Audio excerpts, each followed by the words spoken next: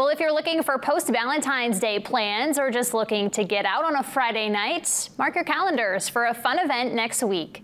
The Freedom Riders Association of Maine Chapter 3 raises funds to assist veterans, first responders, and community members in need. As part of their many efforts serving Penobscot County, they've partnered with Stephen Douglas, a local comedian, to put on a comedy show at the Bangor Grand Hotel. There will be five comedians filling the ballroom with laughter, and if you want to keep the party going, they'll have a dance from 9 to 11 p.m. In the winter, it's a little more difficult to raise funds, but that's where the need is the biggest. Uh, just trying to pay for heating fuel for some of these uh, communities is difficult. And it's not just veterans. I mean, everybody's having struggles. So when we have a few extra dollars that we can help somebody out, we, we always try to as best we can.